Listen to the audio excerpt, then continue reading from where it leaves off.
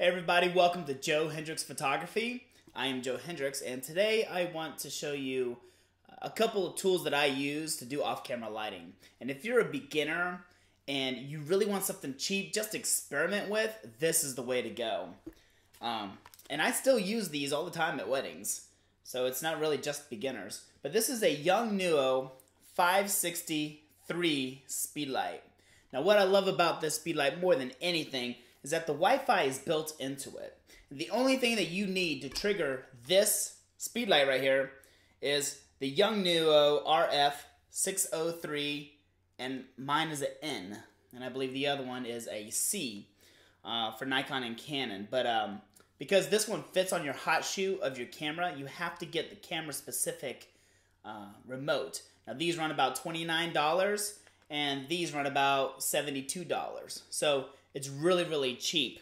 And I'm providing a link below so you can see exactly where it is on Amazon if you want to try it. Um, but let me show you how it works real quick. Okay, the 563 has to power up by holding in the power button, okay?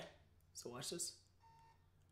And now it's up. Now what you'll find is that this little light right here, it's a blue light and it'll turn on when the camera turns on, okay? So my camera's off right now and now it's on. So you can see uh, let me turn it off. Let me turn it on. So you can see that it's already working. Now I'm clicking. That's how easy it is. It is so easy. Then you turn it off. And it goes off. Um, now, one thing that you're to find when you first get this remote and this flash in is you won't put it on your camera first thing. It's just, you just want to play with it as fast as possible. So you power this on, and then you turn this on, and you're to be going like this, and it's not to click. And it's to be frustrating, and you're to think that you got a broken one. But you have to put it on your camera. For some reason, Yongnuo is like that. It just has to be connected to your camera, so uh, you can't just do a regular random connection. So anyways, that's the Yongnuo 563.